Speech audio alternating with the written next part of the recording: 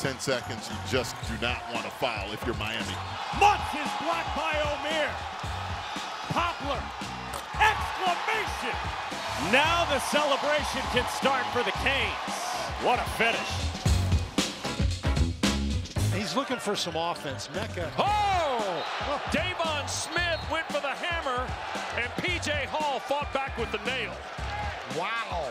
No top 10 for you tonight, Deivon. No, this is the wrong guy to challenge. We talked about the skill set of P.J. Hall.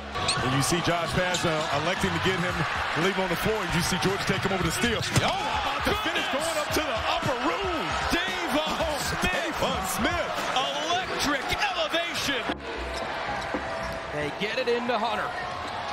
With seven. Hunter drives. The shot is good.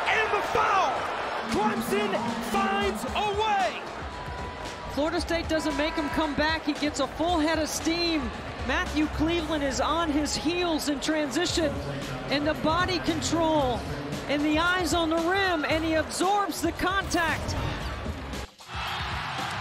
Final chance, Florida State, Warley, Cleveland for the win. It's good. Matthew Cleveland stuns Miami. Jordan Miller gets the three. Curtains, right? No, the kids call it the clapback. So cool the sheep count him when he sleeps. Matthew Cleveland delivers the punctuation of all punctuation.